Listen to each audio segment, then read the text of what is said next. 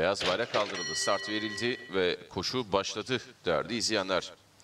Evet 8 numarada Uluyel yaklaşık 3 boy sonra koşuya başladı. Koşunun liderliğini 4 numarada Nevgül'ün kızı aldı. Bir boy farkla öne geçti bu safkan. 1 numarada Esila Sultan ikincilikte. 2 boy kadar geride içeride 6 numarada Son Sevgi. Dışta 5 numarada Ramize var.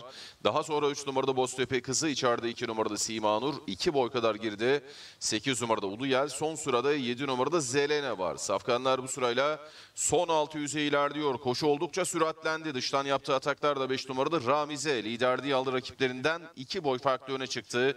İkinciliğe dıştan yaptığı ataklarda 2 numarada Sima Nur sokuldu. Daha sonra ortada bu metrelerde 6 numarada Son Sevgi var. İçeride 1 numarada Esila Sultan. Daha sonra dışta bu metrelerde 3 numarada Boztepe kızı yanında 7 numarada Zelena sırasıyla Taylar virajı dönüyor. 5 numarada Ramize düzlüğe de 2 boy farkla lider çıktı. İkincilikte yine dışta 2 numarada Sima Nur var. Farkı azaltmaya çalışıyor. Daha geriden 6 numarada Son Sevgi'nin içeriden 1 numarada Esila Sultan'ın da atakları var. Son 200'e girildiğinde 5 numarada Ramize 5-6 boy farklı öne çıktı.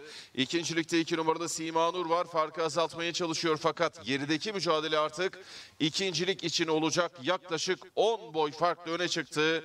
5 numarada Ramize İsa Akyavuz'la koşuyu kazanmayı başarıyor. 1 numarada Esila Sultan son ataklarıyla ikinci oldu. 2 numarada Sima Nur üçüncü. 6 numarada Son Sevgi dördüncü.